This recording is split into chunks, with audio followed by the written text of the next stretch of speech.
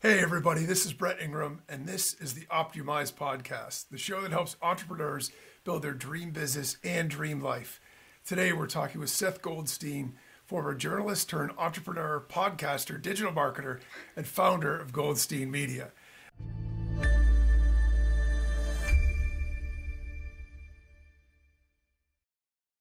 I'm super excited because I've always been fascinated by journalism, for one and Seth has been hosting his own podcast since 2010. As a relative newbie to this compared to him, I want to know how it's all evolved. So, with that, welcome, Seth, and hey, thanks for joining us. Thanks, Brett. Thanks for having me on. This is a thrill. I'm usually on the other side of the interview mic, doing the podcast. Quick correction I've been doing this since 2021, this show. I've been podcasting various different shows since 2010 ish plus or minus a year. It's kind of gets all blurry back then. Sure. I mean, but, but you've been in the yeah, game for a long time. You've seen a lot. For me, um, I've maybe been in dabbling for a couple of years and then serious over the last year or so. It's so fun though. You're certainly I, I a veteran compared to me. I love it. Um, and like people are like, oh, you're an OG. I'm like, I don't know OG. I mean, there's people that have been develop- doing podcasting since before you, when you used to have to trade MP3s or MP4s. No, we weren't MP4s back then. MP3s back via via floppy disk, not floppy disk, yeah. via USB drive. But before awesome. Apple got into the game and made it mainstream, so exactly for a while. So of course uh, we want to get into all the stuff that you're doing now, but my curiosity does get the better of me. So I've got to ask you, what led you to your career in journalism first off, and Ooh. what was that like? That's a fun one because I wanted to do marketing. I wanted to do advertising coming out of high school. I've been doing websites a little bit on the side, and I really liked it. And I'm like, well, I don't want to do business school because I don't want to do calculus. I don't want to do any arithmetic if I can avoid it. um, very much right brained. So I went to University of Delaware, and I was like, all right, I'm gonna do history. I'm gonna do. Eventually, I picked up a history and journalism degree. It's a history of the concentration in journalism. Though journalism was almost as much time as the major. So I was okay. a history and journalism degree because they still don't have a journalism full degree, but they have, I think it's a minor now. It was okay. a concentration when I was there. But anyhow, I got picked up a um, a minors in anthropology and political science, just because why not? Like, what the heck am I going to do with? I mean, it's adult lay, in my opinion. So I, I was like, how am I going to go into marketing? But I had to show that I, I know how to write. So I was like, journalism sounds like fun. I had do I started my journals my school paper back in high school. So oh, everyone in high school knew I was going to be a journalist before I did. Okay. Everyone and everyone knew I was going to be a marketer before I did. So, I mean, those two things, everyone's like, he's going to do one of these two or both, in, that, in this matter. And so I I got into that. Sweet talk the professor into laying me into the rather you know competitive and um, popular journalism major. Um, thank you, Harris Ross. May rest in peace. Not around with us anymore, but he great guy. Got me in. Um, and I was on I was at the school paper, the, the, the University of Delaware, University of Delaware Review. It was called the Review, and Biden, our now President Biden, is an alumni of the University of Delaware. Right. Was walking by the PR offices in his Senate offices, and heard them talking to the Review. And he's like, "Let me get on the phone." And he and he talked to me about the story. It was no a very kidding. That's awesome. named story, but he's like, "Hey, how's it going?" Great guy. I mean, regardless of the politics, he's a great dude. Yeah. I mean, he's just he's just down to earth, nice fella. And as we talked for about five minutes, I was like shaking the whole time because it's like it's Biden. I'm talking to a senator. I'm like, I'm like a sophomore at this time. I'm like, ah. So I was hooked. I was I was yeah. hooked. I was hooked from that day on. I was like, I wanted to do journalism. You know, Woodward and Bernstein is back when the whole thing with Stephen Glass and then the Republic came out, and Jason yep. Stark over at the New York Times, the fabrication. So journalism was very you know in the in the you know in the under the microscope. Um, my now my good friend now Ben Yagoda was you know was my kind of my mentor there, still a good friend of mine. He actually wrote for the New Yorker, the New York Times, the Post, all these other magazines, the Atlantic. He's, and he's writing books out the wild, so I have all his books back there somewhere. If you're watching the video, and he's like, like keep going, keep going. So, I, so a guy out of, out of Delaware got a job at a evening daily in the middle of nowhere, Pennsylvania, where there's more cows than humans. Did that for a while, burned out massively because I was doing evening police reporting, so I saw some gnarly stuff. Ooh. So seven months at that job, I had to leave. I was like, I went into my office, my, my editor in chief's office and said, I have to, I have to leave in two weeks. He's like, take two weeks of vacation. You can leave right now. He saw me. He saw he saw me. I Yeah. lived there. It was like Yeah. eight in the morning to like three o'clock in the in, in the morning. That's I tough. lived there because what else am I gonna do? There's cows. There's Gettysburg, which you can only go to so many times. You know, it's only so much you can. I mean, I, I know that battlefield at the back of my hand because of this. Right. And I was just like, you know, so so then I went back, worked for the Courier Times and the Calkin Media Properties uh, over in Bucks County in the you know suburbs of Philadelphia for a while. More feature stories, stayed away from the hard news as much as possible. Eventually, was like, I gotta get out of this. Not enough pay. I mean, because they they pay you chicken feed unless you make it to the I'm big sure. game, and even then, Yeah. in, in relationship in relation to your experience, you're still getting paid chicken feed right. me making a living wage, but no, I wasn't even making a living wage. So I was like, all right, my then fiance, my now wife is like, you know, you wanted to go into web design when you started out. You've been doing doing it on the side this whole time. So why don't you start a business to get the experience to get the job? Oops. And you know, and then uh, 16 years later, I'm still doing Goldstein Media. I dabbled kind of the podcasting. Entrepreneurs Enigma is the podcast I'm do- doing now. I had Digital Marketing Dive, which is is on hi- infinite hiatus just because I don't have time for two podcasts. Yeah. It's, So, it's a lot. I mean, it's it's, a lot. it's easy to it's easy to think because you you watch a short episode or you listen to a short episode lot. that you can throw them together, but it actually requires a lot of work. And I don't even I don't even edit that much. Like I, I I'll make a note in my head and then put a note in my Notion document like if there's a gaffe that needs to be fixed. But you don't want to. I don't. This is not NPR. This is not Terry Gross. This is not. You're not. I'm not Diane Sawyer. I'm not Barbara Walters. May she rest in peace. You know, I'm not gonna grill these. Everyone's like, "Oh, can I have the questions ahead of time?" I'm like, no. Like, if you listen to my show, there's three questions, and and the, the first 15 minutes is me just talking to them about the, their entrepreneurial journey, and I Yeah. tie things up with those questions, and then we got we get off the program. 20, 25 it's- minutes. It's funny because I, I have a similar mentality. I think that the authenticity is the thing that makes Mm-hmm. Yeah. it valuable. So I don't even prep, honestly. To be honest with you, I don't prep for my podcast. I will glance over that. I'll, I'll ask them for their intake form and their bios. I'll read the bio a little bit. Right. But I, I, I, I I'm because I'm because I'm a, I was a credentialed journalist. I was a professional journalist. I didn't feel the need. I don't feel the need to prep. Right. I much rather be surprised and see where the conversation goes. yeah, I like that too. You know, I don't suggest that for to everyone. to. It's tough because it's like if you don't know where you're going, and you're new to journalism, you're new to podcasting, you're new to interviewing people. Have a list of questions. Don't read them off.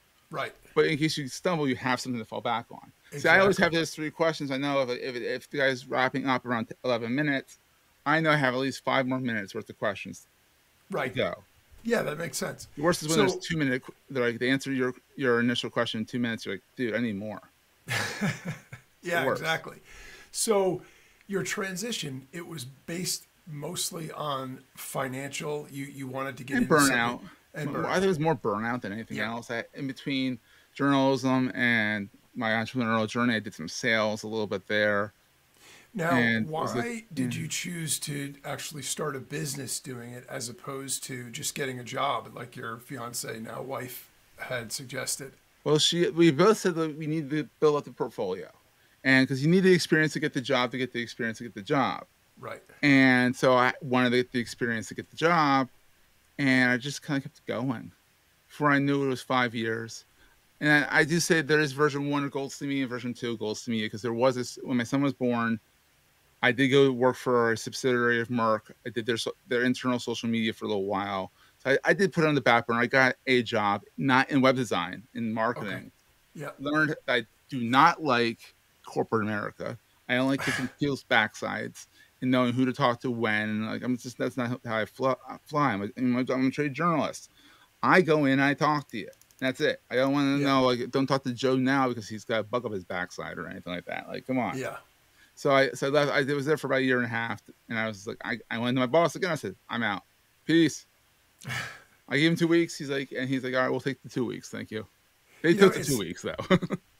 of course. You know, it, it is funny though. I mean, I think people are wired in different ways, and I know, you know, for me too, uh, it was always hard for my wife to understand that it's hard for me to work for other people in the, in a traditional sense. I mean, I, I did have one job. I have to say that I absolutely loved the company. The culture was amazing. Yeah. If the dot com crash didn't happen, I don't Mm-hmm. know where things would have gone because I was it was a consulting company that was in that era, and we were about to about to yeah. IPO, and um, unfortunately, um, they actually stayed around. They didn't they didn't close. Oh But wow, was- they survived it somewhat. yeah, but I was in the New York office, and they Hmm. were Santa Clara based, and so Outside we ended out up shutting down yeah. all the East Coast. They shut everything down. They got a lot smaller, and and then unfortunately, it just you know so. But for me, I, I had mixed experiences working Yeah. for other people. I've done it enough times, and in some cases, I had really good experiences, and then other ones I, I Just I- don't I- work retail if you can help it. Like they- I, they don't pay you anything. And they, I actually walked. I quit my retail job at Circuit City back in the day Okay, because they made they said they're paying me ten dollars an hour, and they said you need to get different shoes. And I'm like, you're gonna either buy me shoes or I quit. They're like, we're not buying you shoes. Get new shoes. I'm like, well, here's my two weeks, and they're like, get out of here. I'm like, fine. Did I they mean, give my, you wife- commissions? My wife teases me. She's like, "You quit a job because they wanted you to buy new shoes." I'm like, "Well, they weren't going to buy them for me. They weren't paying me enough to buy new shoes." That's Like- funny. I mean, but but it is true. I mean, if you have to, if if if you feel like you're in it alone, and they're just Mm-hmm. using you as opposed to being you know together, That's trying to make the company a better place, you don't feel any buy-in. You don't feel any investment in that. So why would you? It wasn't even a good give- discount, even either. It was like it was like cost plus like ten percent. Okay. It was like, what the hell? Yeah, because a discount at a place like that would be worth something otherwise. Yeah. Yeah, it wasn't that good, or maybe it was that cost what they paid for the stuff, but it wasn't that good. So So I know that there are a lot of people out there that are in traditional careers right Mm-hmm. now, and they're either thinking about making the leap to entrepreneurship, or maybe they've started it, but they're just not at a point yet where they're comfortable. They know whether they're going to be able to make I'm it. not comfortable at 16 years. I was going to say, If you you're have any tips comfortable in the entrepreneurship, you're, you're doing something wrong, and you should probably go back to corporate America. You can't be comfortable. Oh, you know, it's- nice to know you're not alone. I mean, every entrepreneur feels that way. It's just Oh, that we're not supposed paycheck to feel that paycheck way. sometimes. sometimes it's paycheck to, paycheck to paycheck. Other times it's not, and sometimes you're like, and when my wife comes down and says, "Ray, a check for four thousand dollars this week," great, that's my paycheck. Great, I'm happy. Other times she's like, "Ray, you have yourself a hundred bucks." I'm like, "Oh shoot." it can be torturous, that's for sure. And Yeah. people don't always understand the challenges of being Correct. able to only eat what you kill. So it's like if you know if you're in that environment and you've got Yeah. to provide for yourself, there's you you get to ride the wave of the upside too, and that can be great. Mm-hmm. But what people see is the TV version where it's all this freedom and lifestyle. What it's lifestyle? not always like that. I mean, Yeah. I, I I have the freedom to work eighty hours a week. But if you I mean, it's a love, cliche. It's a, that's a very big cliche, but it's Yeah. the truth. I had the freedom to work when I took us off more than saying I nine to five, nine to six, you know, eight to six, whatever the heck the your time frame is, and then clock out and leave. I don't leave. You know, Right. for better or for worse. I mean, I love what I do. I podcast, do all this fun stuff. So it's like, you know, people ask me what my hobbies are. I'm like, my job, yeah, my family, and Yeah. my job. You know, because I enjoy what I do. It's fun for me right. maybe because not not fun, which it does at times, you gotta realize it's something I want to do. It always So- falls back to that. So So is that in terms of advice or tips that you would give to somebody who's thinking about it or sort of I say try started it. try it? Or I would say just do a side hustle first. Start something up on the side. Do your nine to five, then do your five to nine, five to ten at night. Even if you have a family, you know, just do something on the side. And then sometimes, I mean, in in the 242 episodes of Entrepreneurs and Enigma, I can't believe there's that many right now. Everyone has said different things about it, but you know, ultimately they say like, you know, some of these people started a side hustle and then it got to be too time consuming and it was enough money for them to jump ship and Yeah. do their own thing. Other people are still doing side hustles Yeah. and it's, it's still entrepreneurship. It's just it's a different kind. And some people are entrepreneurs, and they're they're in a company, but they have the freedom to kind of do whatever the heck they want, or Yeah. within constraints. That they're like business expansion people. So But you think it's important, I take it, to do something that you love and that you're passionate about because obviously that's going to make it. yeah, some people are made for entrepreneurship. Some people aren't. It's it's Yeah. not always freedom. Sometimes it's Right. a jail cell. I mean, it's it's both sides of the coin, just like corporate Yes. America or working for the man or the woman or the person. is that could be the freedom and not freedom and all that stuff. Not it's some people are made for entrepreneurship. Some Yeah. people aren't. I mean, my, my father worked for an insurance company for 25 years, and literally on his 25th anniversary, it was a. I mean, this is back in the day where You get a gold you got pensions and companies took care of you, and you gave your career to one company. You didn't jump around like, they jump like around so much now. And on his 25th anniversary, the day of his party, his boss was flying down from Philadelphia to lay him off. And his colleagues got wind of it. They called and they said, "You can't. We're doing his party today. He's getting his watch. You know, uh, you you can't come today." So he waited two weeks, came down two weeks later and laid him off. My point. Well, that's at least nice that he waited. Yeah. yeah, right. But my point is, uh, you know, to your point, exactly any kind of security, any kind of idea like There's that. It's all an illusion anyway. And because you just never know. I mean, you could get laid off tomorrow. So despite the fact you get a steady paycheck and you could have a good day or a bad day, if you're an entrepreneur, it's harder to have bad days because you're only getting what you get, but you have a little bit more, at least, feeling of control because it's mm-hmm. it's your gig. Whereas if you're. Exactly. There's, there's more else- control and less control at the same time. Exactly. Yeah, that makes a lot of sense. Yeah. So I know you've seen and done a lot in your various careers in life. Yeah, Is there one favorite story? Is there one crazy or cool story? Well, crazy stories. Don't get me started on that. Once I chased a combine through a cornfield because they had found a dead body in the field, an overdose victim. It was back, like I think it was like meth or something or whatever. I don't know. Don't quote me on that. Out in that nowhere, Pennsylvania. I'm chasing this combine in a, in a jacket and tie and cargo pants. My deal with my editor was that part, you know, business on top, party on the bottom. Because I needed I needed cargo pants to you know, carry my notepads and stuff like that, and, and carry pens and stuff like that. I'm like, I'm not gonna wear a suit. I'll ruin the suit. So I came back from that gig, dusty as hell. I said, "You're buying me these shoes." Uh, guess what? This guy bought me these shoes. He I gave think me you- the I was going to corporate say, I credit think you card got something about shoes. You want everybody to buy you shoes. because he ruined, but they ruined my shoes running through the cornfield, I running through mud, and my, my dress shoes were ruined. And I said, You're, I said, I got the story. I'll write the story, but I'm going down to the Clark outlet in, in the center of Hanover, Pennsylvania. They had a Clark outlet. I said, You buy me these shoes. I said, Either you can pay me back or do you give me the cor- corporate credit card. You give me the corporate credit card. I went and got a cheap pair of shoes because I wasn't going to buy an expensive pair of shoes on his dime because they weren't expensive to start off with. You know, it's just like, you know, comfortable, comfortable pair of shoes and ran through that. I sat in the middle of a, a super highway once while I extracted a dump truck from a, a ravine. I mean, oh, this is a good one. This is a real good one. Gettysburg, in the center of Gettysburg, there's a uh, Abraham Lincoln giving a kid directions statue by J. Okay. Seward Johnson. If you've ever been to Gettysburg, you know what I'm talking about. It's in the center of the circle. I, I've been there, but I, I was a little boy, so I, I Yeah, don't. oh, I, well, I lived there for so long, uh, for you know, Yeah. seven months.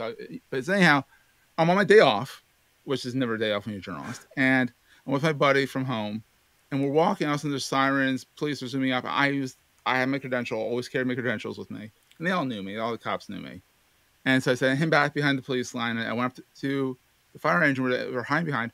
Apparently, someone left a suitcase next to the statue, and they didn't know what it was. They sent in the bomb robot. They sniffed it, you know. And so I'm sitting behind this this this fire truck. We're all looking at each other like we're way too close. If this is a nail bomb or something like that, like like we're we're we're dead. Like we were way too freaking close. And I told my mom this later. She's like, "You're an idiot." I'm like, "Well, that's what they told me to stand." Like, we're all hiding behind this tanker truck, and it turns out it was a it was a it, bury, I'm not trying to bury the lead, but it, they um it was someone left a, a suitcase full of stiletto heels. Wow. So That's that's thinking, and so six hours later, they open it up, and we're all like, "Ah," hiding, and it's a bunch of like knee-high stiletto heel shoes. That's awesome. And we, I, to this day, I don't know what they were doing there, why they were left there. It was probably a prank. Yeah. That's funny though. I mean, you see some crazy stuff, you know, just in, in everyday life, but I'm sure as a And, journalist. journal- and then you get to write about it too, which is kind of Yeah, fun. exactly. That was a fun So article. I, bur- I buried the lead on that one. I did. I, it told me I'm like, I am not putting everything at the top of this article. Like I'm having fun with this one. This one was Yeah, of fun. My- course. it was my day off. I went into the newsroom afterwards, grabbed my bike, went back into the newsroom. I wrote the article up, front page, fun article. Had a little, had like the little Johnny Five robot, you know. For those people that remember Johnny Five from Short Circuit, Yeah. robot going poking at it. I got a picture of him poking at it. him, I assume it was a he, a boy, boy robot, or Right, I don't know. girl I- robot, whatever, whatever. Yeah, Yeah, I'm not sure what gender uh, Yeah, that, that a guy robot. was, but yeah, Exactly. robot. So, um, back in 2010, I know you were dabbling in podcasting, and and now we're here in you know 2024. Oh, so different. Are there what what are the things that you think have changed the most? I mean, obviously, look, I know that it's obviously exploded in popularity. Now it's like the the, flavor of the week. Everybody wants to have a podcast. I get that. But Yeah. in terms of technology or other elements of it, what else has changed? the technology hands down. I mean, like I used to, do, I, I used to use Zoom. For that, I used Google Hangouts on Air. For that, I I used Skype. I think Skype with some plugin. Like I mean, it was rudimentary at best. Now you have things like Squadcast, which we're on right now. A little inside baseball there, but you know, Squadcast, Riverside, which I don't. I'm a big fan of Riverside because they, they they don't quite get it. But there's all this technology out there. There's even AI that does like the, the short clips for you and finds the clips for you that that's changed. So I didn't have to find my questions, find my points, Just throw in AI, and it finds the most amazing things. I'm like, I don't remember talking about this, but this is awesome. I mean, AI finds the most amazing clips. Sometimes it fails miserably and finds really dumb clips. Yeah. Generally, it's pretty good. I mean, AI with a podcasting is great. It helps with the show notes, the transcriptions. I mean, it's it's changed. It's the best time to be in a po- doing a podcast is now. Yeah. There's a lot less work. It's still a lot of work, Yeah. more, the more the work's recording the show and and, and you just getting some gaffes here and there and that kind of thing. It's but the fun part, whereas all the mechanical stuff you can sort mic. of automate and outsource and things like yeah, that. good might put headphones on, even though I'm not wearing headphones right now. But you know, they also have very good echo cancel cancellation now in Squadcast. That's the reason I've turned that sucker on. Like that, that, Right. I actually don't works. like the headphones. I wear them just because I'm worried that it will start to. I know it uh, sometimes it'll be working okay, but then if there's a lag, it'll start to echo. So I just Oh, wanted to make sure if I'm in the I have headphones over here, but my my ears get warm at times, and I'm like, you know, Yeah. I It works. without it, but I, I, you know, don't want to risk the technology side of it. So, you oh, I. I live on the wild side, so so if somebody was going to start a podcast today, what, uh, what advice would you give them? just get started. Your first episode episode's gonna suck. Yeah. and I would say publish that sucky episode. Don't hold back. I would still say do four episodes up front. Do a trailer, like a two minute trailer, and put that out first. Get that into the iTunes, into the directories. Then I put out four episodes right away. Bam, get them all out there. One fell swoop, all published at once. That way, people who like it, they can they don't have to listen to one way a week. That also gives you no buffer but it gives you you can then say that the following week you know start planning things out get notion get a, a spreadsheet and plan out what you want to talk about and like for me I, I have people knocking on my door not literally but my email door constantly saying i want to be on the show i want to be on the show i'm like well you're gonna have to wait till august if i'm even interested because i have so many people interested in being on the podcast and it's just wild but you, just be organized don't fly by the seat of your pants i mean you don't have to plan all the questions out ahead of time but know where you're going, know your premise, and your premise might, premise might change halfway through the podcast. Yeah. Also, try and get to 30 episodes. Eh, it, Podfade's a real thing. Try to get to at least 30. And then you can also upload your stuff to archive.org. They love the content. So if you don't want to pay for hosting after you're kind of fizzled out, don't get rid of it. Put it on archive.org for free. That way you have free hosting for your podcast. You your legacy can kind of live on, you know, that kind of thing. I, I have like cool. 10, 15 podcasts up on archive. I go back every once in a while and look at them. I'm like, oh God, these are awful. Well, yeah, when we all start, but uh, you know, I'm so with you on that because there's always um, this sort of trepidation about wanting to make it perfect, wanting to Oh, don't. like this have is not NPR. This is not NPR. but this right. not professional radio. the more rehearsed it is, the more the more Oh. perfect it, you try to make it, the stiffer it is, and then people aren't really that interested. It's not as engaging. I mean, some Plus- are. I mean, there's ones that there's like Recorded Future has a podcast. It's on digital. It's on like digital threats and cybersecurity and all that, and it's produced. Sure. But the Temple Ra- Raston is a professional NPR journalist. Right. Right. can- and when- If you're a radio journalist, I was never a radio journalist. Everyone always, my editor when I left the newspaper world said you should go on the radio. I'm like, with this voice? I feel bad for you, Brett, trying to edit me. Jeez. Oh, it's totally fine. I don't know what you're But, but my point being is like I talk fast. I'm from Philadelphia. You know, we talk fast, no spaces in our words. You know, blah, blah, blah, all that stuff. But the thing is, is that like there are, is a place for storytelling, and there's Yeah. a place for this kind of interview podcasts. There's a spot for informative podcasts. Pick a genre, have fun with it. You know, try and get some music in in the front, you know, royalty-free music. YouTube will still flag you at least once, saying that you're using something you shouldn't use, and you have to kind of say, "No, I have the royalty-free version. Thank you very much." And So you think people with it. should put it on YouTube in addition to the Oh, version? absolutely. YouTube's Yeah. the second biggest search engine after Google. It's owned by Google, but you know, definitely people, you know, YouTube even now imports it for you. I don't do it. I do it manually. Yeah. I don't trust it to get everything perfect yet. Yeah. Um, but so I do upload my videos manually. Even if you don't have a video podcast, you only have an audio podcast, you can put your album art up front Right. and just play it there. People listen to it on on you know while they're driving in YouTube. Very cool. They should watch it while they're driving in YouTube, but I know people do, but don't. Yeah. Hopefully not. I mean, Yeah. I, I can't tell you how many times I'm driving and I see somebody with the cell phone up in front, thinking to Yeah, myself, stop it! Just- accident waiting to happen. It's crazy. Yeah, So you're also the founder of Goldstein Media. We talked about that a little bit. Yeah. full service digital marketing agency. Can you tell us what that's all about and what services you actually provide? Yeah, so we do everything from WordPress websites because that's our CMS of choice, all the way through SEO, some paid media. We'll do digital strategy. We'll do some podcast coaching. We'll do some production for people if they want us to kind of produce their podcast a little bit, help them figure out how to do it. We'll do email marketing. It's kind of your run of the mill digital agency. Nothing really, you know, shocking there. You know. Okay. Yeah. So do you do you have so if somebody wanted to get a website and get it online, you could do it like soup to nuts and start with that. Yeah. What if somebody had a site and they wanted to optimize it we, like we that? do it all.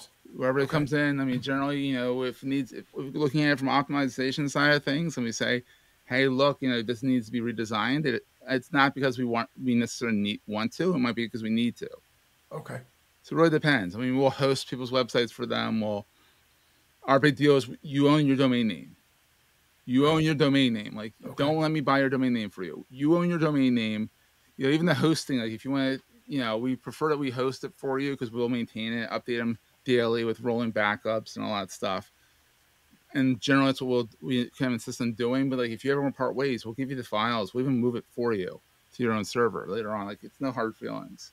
And you prefer WordPress as your platform Oh, choice? hands down. It's 47, 48% of the web runs on WordPress. Right. People are like, oh, WordPress is so buggy and glitchy. If you don't update it, anything's buggy and glitchy. Just update it every day like, or have someone do it for you. Every, I mean, I update 55 sites a day, every single day. I mean, Wow. keep keep in mind, I have a tool that does helps me do it, and I spot Yeah. check them. It's always the ones I don't spot check that go down. And I'm always like, get an email like, it went down. I'm like, ah, this is how it works, you know. But, you know, I'll spot check it probably 10, 15 a day and r- rotate them around to make sure that nothing broke. Generally, nothing breaks and when you're updating stuff. And if you update stuff, you're not going to get hacked. Right. And the other thing about WordPress is that you know it's going to be around. Yeah. If you host with another platform, and what if they decide they're going to go out of business, they're going to change You can't something, get your crap out of it. you're done. Yeah. If And you want to be done with me transfer it. and work with someone else, you can because everyone has WordPress. And if Right. you don't, you'll figure it out. I mean, Yeah. ultimately, and I would say stay the heck away from WordPress.com. Do the self-hosted version. Yeah. I know Matt Mullenweg. I've met him before. I've talked to him on the talked to him before. I'm not a big fan that he calls it WordPress.com and the, open source pro- project is WordPress.org. Big point of contention with me. I don't like that. No one does, but it's a smart marketing move. It makes brand kind of makes the whole brand confusing as hell. It, So it it's a little really- confusing. But You don't know where to Automattic runs software. WordPress.com, runs Tumblr, runs Pocket Cast, runs a bunch of different things, and all more power to them. But if you want more control over your website, you want to do your self-hosted. You know, Rocket. I, we use Rocket.net for our hosting. Ben over there is a fantastic, fantastic dude. Not cheap hosting, but it's worth it. It's good. Yeah, I mean, I've noticed a difference. Um, my site actually runs on WordPress as well, and I was using. Um, I have my own server that I was use for my other sites, and for a while I was I was doing that. But I'll be honest with you, uh, when I did the speed checks, it was pretty slow. So I actually switched that site to a WordPress uh, like specialty hosting, and it's so much faster. It's night and so much better. It's incredible what it's- a good server Yeah. means. Don't get off of Bluehost. Get off of HostGator. Yeah. Don't use GoDaddy for anything other than domain name registration. Seriously, Right. Don't. When it's optimized, it, I mean, it, WordPress runs really, really well. So. I, I'm totally with you there. So do you have an ideal client? Is there somebody in Small particular? mid-sized company, you know, one to two hundred people in the business. Uh, the minute it goes to committee, I don't want anything to do with it. Like one or two people working on the project with me because you have to be active in the project with me. Okay. But I don't want to say, oh, I have to go out and bring this to committee every time there's a change. No, no, thank you. I'll pass on that. Thank you very much. Gotcha. So if people want more information, where would they find that about your services that you offer for that? Well, you can go to goldsteinmedia.com. You can go to sethgoldstein.id, like is an identification. That brings you to my kind of my link card of sorts. It brings you to sethgoldstein.me, which is kind of where I have my personal site and stuff up there, all my links to stuff there. So Entrepreneurs Enigma is a great place to go for the podcast. Marketing Junto is my daily, my not my daily. Jeez, I'm insane to do that daily. My weekly newsletter I put out weekly. I'm not as crazy as Brett here, who does a daily podcast. And you do and you do a good daily podcast. I listen to it. It's, it's really good. Oh, I really you. like it. I Daily's appreciate that. insane, I- dude. You know, it's it's a passion project, you know, and it, it's like anything else. I mean, as entrepreneurs, we, we we realize that you can do stuff for money, and that will wear out really fast. Yeah. When you do stuff because you love it and it's genuinely what you want to do, then I think that comes through, and it and it makes it a lot easier to be successful and motivated to do it. So, Absolutely. um, that's awesome. So, my last question that I always have to ask okay. is if you could give only one tip to entrepreneurs who are starting a business or want to, what would that be? just get started. Same thing with podcasting. Just get started. Try it. Do a side hustle if you have to. If you can't, if you can't swing the you know the nine to five entrepreneurship, which is not nine to five, it's nine. It's literally twenty four seven. But like if you do a side hustle, get, just get started. It's easy to start a business. You know, always put away some quarterly taxes. Kind of important so you don't get hit by the IRS. But other than that, just get started on a side hustle and just have fun with it. Yeah, I think that's great advice. I mean, I know for me, um, when I started off in digital marketing, I spent the first few months learning and I was getting smarter, but I was just getting broker because I wasn't doing anything. Once I actually started doing things, it was terrible. Like you said before, like your first podcast episode, Oh, your terrifying. first website. Yeah. It's terrible. But you can't get to great until you start and go through terrible. So you start there, just get going, make adjustments as you go, and Love it. continue to refine it. And then as you look back on the progress you made, that is motivating. Whereas if you never start, then you're you're always waiting for that perfect moment that never comes. Absolutely. So I'm with you there. Spot on, buddy. Okay, well, with that, um, it's just about time to wrap things up. Thanks again, Seth, for Well, it's my sharing all your Thanks for having me. Great tips with us. Again, go to Entrepreneurs Enigma to find the podcast and Goldstein Media for complete digital marketing services to grow your online presence. Thanks for tuning in. And as always, remember no matter what you want from your business and your life, don't compromise, optYOUmize.